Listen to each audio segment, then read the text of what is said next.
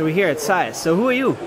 Oh, hi, I'm Stefano Tominetti. I'm the Business Development Manager for Advanced Polymers at SAES Getters.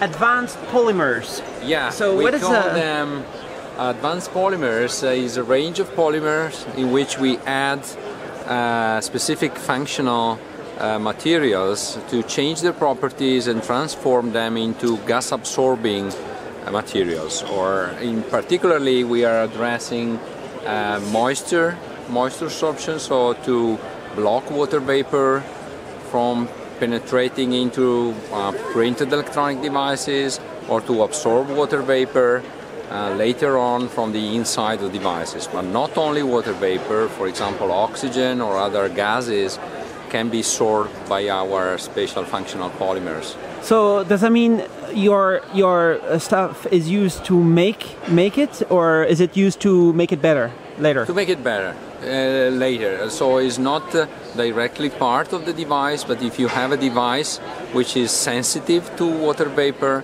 then you can use our materials to protect it and prolong the lifetime.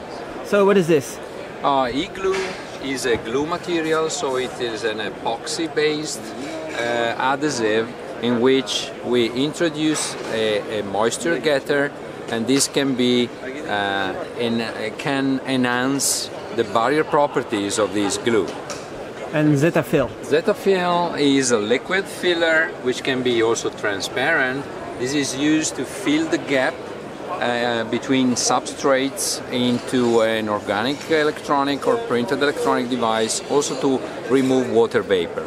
And uh, Zero Glue. The Zeo glue is another kind of glue which is used to seal uh, devices and this is uh, designed to be printed into uh, nitrogen atmospheres.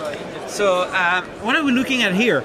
Is this a demonstration of something? Yeah, these are uh, samples of our printable materials. So, uh, for example, we have the, the Zeo glue or e-glue. They can come in a, in a line form and they are used to seal devices. Or we can have a screen printed uh, dry paste or getter paste onto flexible devices.